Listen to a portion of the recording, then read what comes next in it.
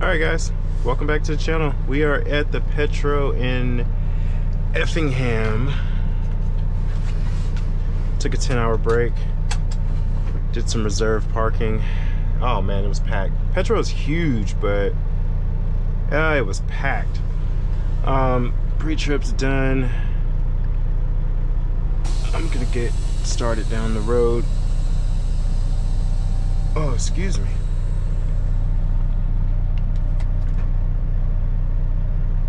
Start off with a tug test. Make sure that we're uh, connected safely. And we are.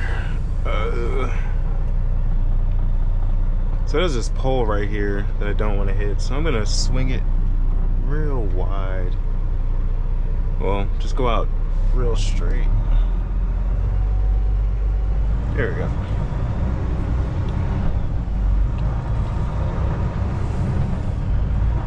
See how big this uh, space is? Petros generally have, Petro and TA, generally have a lot of space, uh, a lot of parking spaces.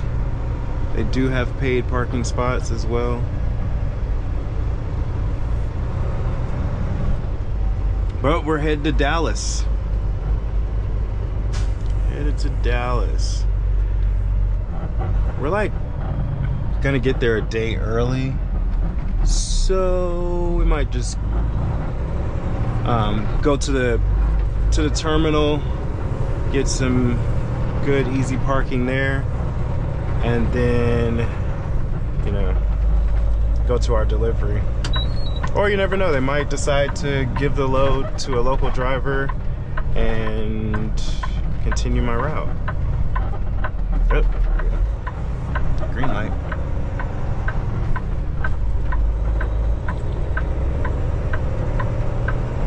We're gonna be getting on 57 South. There's a truck wash. I might actually get this truck washed one day. Like I, I enjoy the rain because it's like a free truck wash. Um, but I, you know, this is a new nice truck. I want to keep it clean. I think I get um, one truck wash a month, which is eh. You really got to have the time but you know take care of your equipment and it'll take care of you. And you want to look nice. It's a reflection of your yourself really. Yeah the company too but really yourself. There were people parked all out by this uh, chasers bar and grill. Parking was interesting last night. But i'm off my i'm off my normal schedule being that like i had that delivery or i had that pickup at um, oh god what are we doing here? Alright, thanks guys. Thanks for letting me over. We got this slow guy coming through.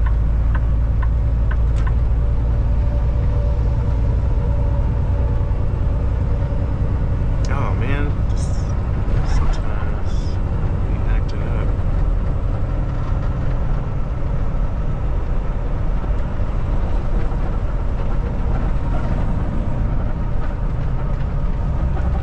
So I gotta keep left here. But everybody's coming up, so I'm just letting everybody pass real quick. And then I will I'll get over. But yeah, it is uh about 11:30 um in the morning. It's just generally, you know, my time is to stop driving around, you know, 12, 1, 2 o'clock, stuff like that. So it's it's it's different being out here with everybody else. But I've been this route before. I know there's a lot of construction.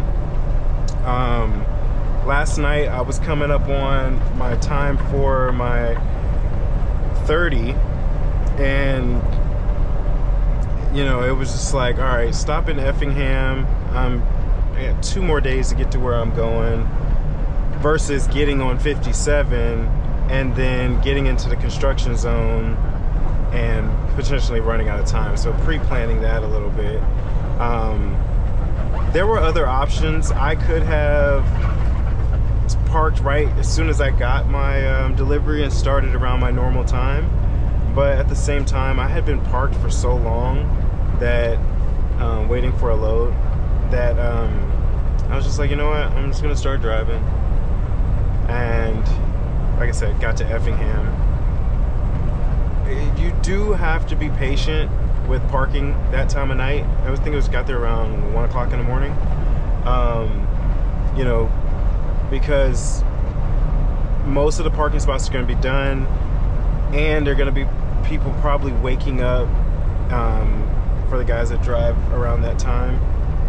Uh, so you got to be patient. Don't just and be careful around those things. People are asleep. People have gotten creative with their parking and extended out lanes a lot. So you have to um, be mindful and watch your trailer. You know, swing wide, you know, roll the window down, watch the trailers on both on uh, trailer on both sides. Make sure you're not clipping anybody. Um, that's one thing I never want to get. That's J-Rail driver. Um, that's one thing you know you never want to get too comfortable with. Always keep your eye on your trailer.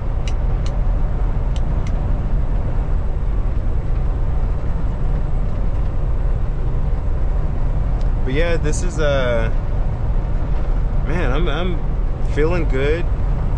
Like you know, if if if if it didn't come down to the whole parking situation, I would have no issue with driving during the day.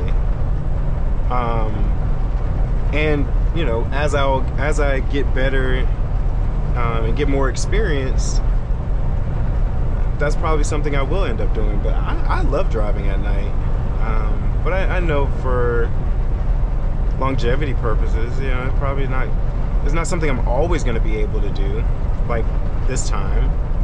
Um, but at the same time, you know, I get to make some good videos and show you guys what I got going on. Um, a lot more stuff happens during the day. Nighttime is quiet, it's peaceful uh, you do a lot of self-reflection during that time. You really can uh, not necessarily meditate, but go into a meditative state, I guess. Uh, and, and, think about life, think about your goals, and that's when you're, you know, you can be creative. I got this oversized load here. Uh, farm equipment, maybe? I don't really have the speed to pass him unless he gives me some leeway. Um, I don't want to hang out next to him. Very nice truck. Like a Pete. I think we'll be good to just inch on by him, give him enough space.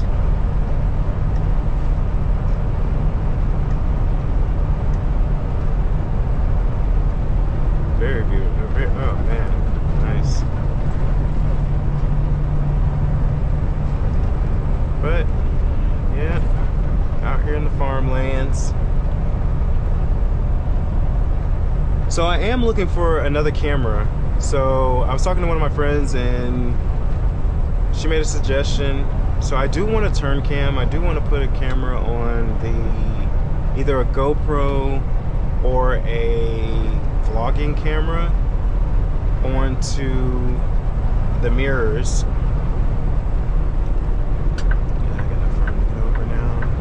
Um, onto the mirrors so that like have a turn cam so you can see like you know when I'm turning and see more of what I see from that point of view. Um, so I am looking for that. If you have any recommendations for that, I currently have a GoPro Hero 11. Um, that I use. So definitely want to get something else. I, I'm pretty sure it would make sense for the GoPro to be mounted out there and the vlogging camera maybe up here. I don't know how I feel about the camera facing me. Um, mm, it's not my thing. or I might have a mounted head mounted camera like I have now and I don't know I don't know maybe give me some some suggestions of what you guys I, I don't think the camera should be on me that's it's not my thing.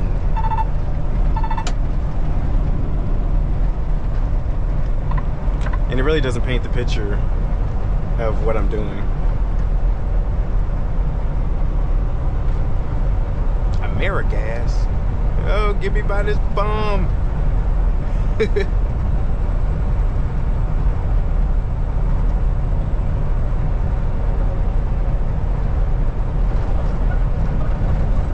oh man, but oh, it feels good to be able to get a nice shower. Um, I had breakfast already um, in the truck, and since I have an automatic now, I've kind of got my cooler right here which it is it since my last truck didn't have a refrigerator um, that came with it kind of like a hand-me-down um, I bought this one off of Amazon and it's uh, it can be plugged into like the cigarette lighter or it can be plugged in it has another cord that you can plug it into the uh, inverter um, with this truck I actually have an inverter behind my seat as well as, as well as the APU system that's over there for the TV and microwave. Um, but yeah, I used to have this actually sitting up in the same slot that the, um, the refrigerator would have been in, but this truck has a refrigerator, so I have an additional cooler um, to put, you know, my waters, juices, and stuff in there. It, it's it's a very good cooler. Um, maybe I'll post a link for it. Um, but yeah, I like it because you can change, it's Bluetooth, which I never really used the Bluetooth feature of it. Um, but it does have like it has a USB port on it so you can charge things with it and a digital button to do for the uh, time. I mean, not time, the temperature. Um, so it's been, you know, kept me going when I didn't have a, a refrigerator that was mounted on the truck. So glad to have it. And since I don't have a manual here, I can actually store it right here, strap it down right next to me. It's not gonna go nowhere, it's not gonna hit anything. Um, I thought about putting it over here, which this area is kind of a mess because I have a lot of water that I just didn't put under the truck or anywhere else. So I have a lot of water, I think it was like a 40 pack. And then my trash can, which I bought it but I don't really use it. Well, I use it for like the bottles and things, um, but normally I'll have like a bag here um, that I will uh, put around the seatbelt loop. Excuse me. That's kind of how I do things, so that way if I have something to throw away, it's like instant access right here. The seat used to be empty, um, but now I put this, uh, this little bag thing up here and it's just turned into my food junk paper thing I can easily just grab something out of there but yeah we're headed to Dallas. All right so we'll check in later. Peace. Well we made it down to I-55 South and we hit a little bit of traffic. Uh, we're moving. Um, every once in a while we'll come to a stop. A lot of trucks and this is also why I don't like driving at this time of day and I kind of set myself up for this but it's all good it's all good I haven't heard which lane. I know that like we're gonna enter the construction zone eventually, um, but I haven't heard which lane is best. Uh, which lane is best to get into. But we've been steadily moving, so I just choose the lane that's moving until find out what's going on as we get closer to it.